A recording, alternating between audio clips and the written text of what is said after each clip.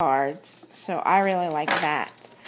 Um, this is kind of running long, um, but as far as Studio Calico, I don't know, I might make another part to this, but, because um, I hate uploading long videos, it takes forever. But anyway, this is how the Studio Calico kit comes. It comes in this new box, which I don't really, you know, if you're going to, they say it's not extra cost, it's just to help prevent any damaged products and stuff, but I don't know, it just comes with a lot of foof product, you know, you're you're not paying too much, but I mean, I'd rather have product than than this um, box, which I don't think I'm going to keep all of it because it's a space. Hopefully, I'm going to use it, so use the stuff inside, so I don't know what to do with it. Um, this is the stamp set that it comes in, which is really cute because I think it's a 3x4, which can just stick right on a journaling card, so it looks like a Polaroid. Um, same thing with the packaging. I don't really need all this packaging. Um, so like I said, it came with these overlays, two overlays, um, one specialty, or is it two, maybe two specialty cards, this um, wood, and then this embossed thing. And it tells you about what kit you got. So these are the alphas it came with. Okay, the basic gray ones.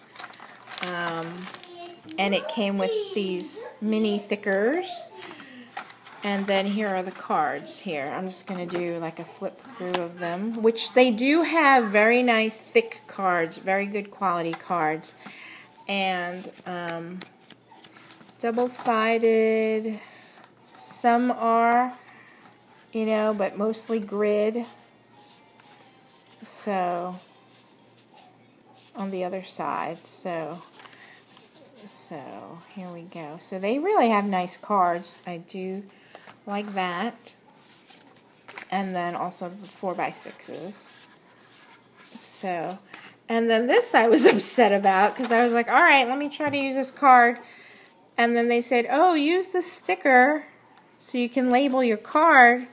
I tried to peel it off and I ripped the whole thing off. I don't know if it's supposed to stick or not.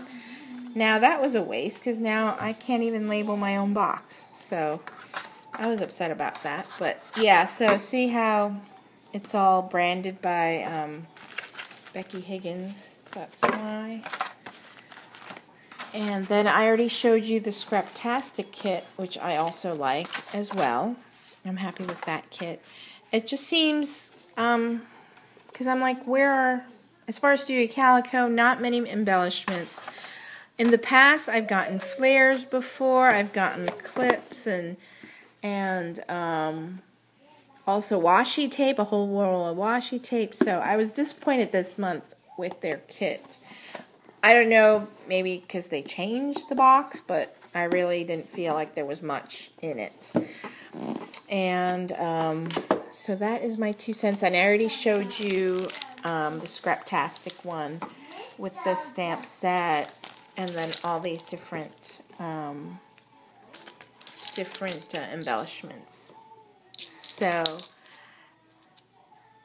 and then, oops, I didn't bring out my Kelly Purkey ones, but I do have a video showing those. So that is my two cents. If you look at the numbers, summary, I don't want it to be a lecture or anything, but I just wanted to really show what was included as far as cards and the price you're paying and whether there's a commitment or not, and then the different variety of embellishments.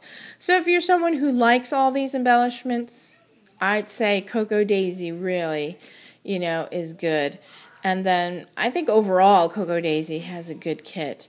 Studio Calico, they used to have more embellishments, so I don't know what happened this month, but they're missing stuff. Um, but I do like their cards. Um, but it's like what five six dollars more?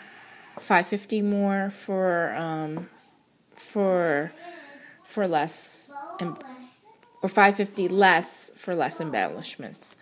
That's what i mean. Though the packaging is like i don't know.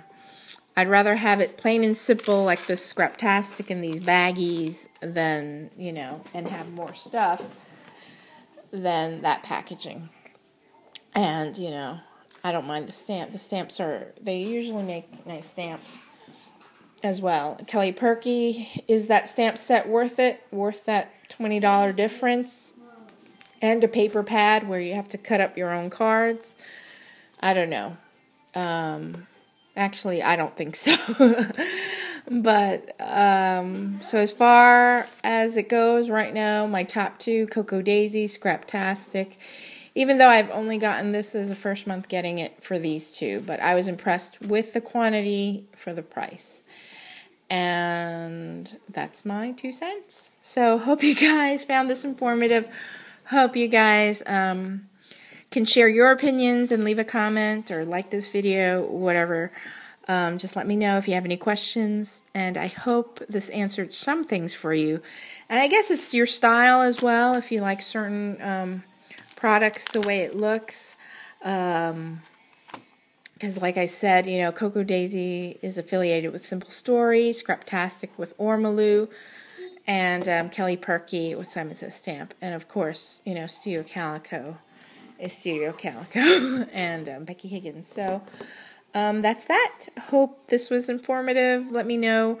Leave a comment, like, um, talk to you later. Oh, and I'm going to do my um, scrapbook one next. So that's next. So stay tuned if you want.